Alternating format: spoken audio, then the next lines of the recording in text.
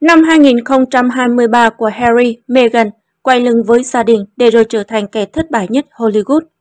Sau 3 năm kể từ ngày chính thức từ bỏ tước hiệu hoàng gia, cuộc sống của Harry và Meghan có lẽ vẫn chưa thể yên ổn.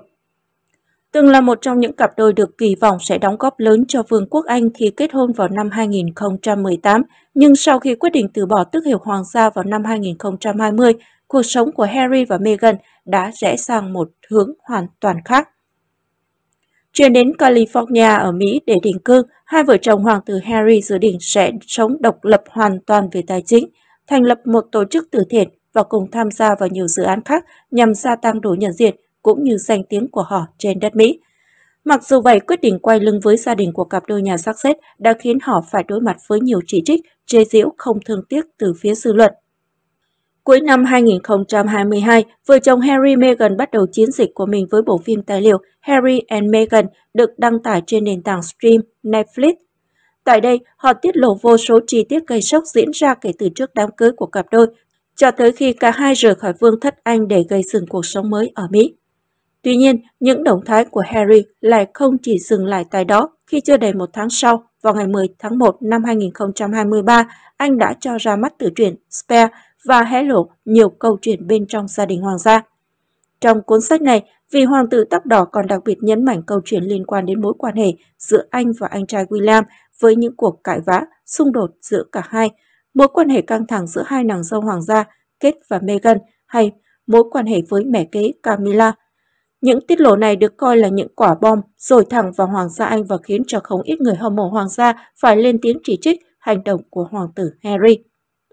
Thậm chí vào lễ đăng quang của vua Charles đệ Tam vào tháng 5 năm nay, mặc dù Harry có trở về để tham dự nhưng anh được cho là không hề có bất kỳ tương tác nào với các thành viên gia đình và lập tức rời đi ngay sau buổi lễ chính thức kết thúc.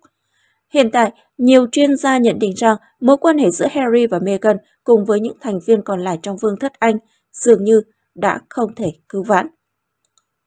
Tuy nhiên, việc cặp đôi liên tục tiết lộ các bí mật hoàng gia có giúp họ được chào đón tại Hollywood. Kể từ ngày đến Mỹ sinh sống, Meghan và Harry đã được trao cho vô số những cơ hội lớn nhờ danh hiệu hoàng gia và câu chuyện của họ. Tại đây, cặp đôi đã cùng nhau xây dựng quỹ Archewell, ký hợp đồng với hàng loạt ông lớn trong ngành giải trí như Netflix, Spotify, phát hành từ truyền Spare và được mời đến tham dự nhiều sự kiện của người nổi tiếng. Mặc dù vậy, năm 2023 lại cho thấy gia đình nhà sắc xét không đạt được quá nhiều thành công từ những thương vụ của mình – lại còn phải nhận về những bình luận tiêu cực từ phía công chúng và thậm chí là bị chê giễu không thương tiếc trong những bộ phim hài châm biếm nổi tiếng. Cụ thể vào tháng 3, phim hoạt hình nổi tiếng South Park đã chế nhạo cặp đôi này bằng một tập phim có tựa đề chuyến đi đòi quyền riêng tư khắp thế giới. Trong đó, cặp đôi được tái hiện những người luôn đòi quyền riêng tư nhưng lại luôn dùng câu chuyện của mình để thu hút giới truyền thông một cách mâu thuẫn.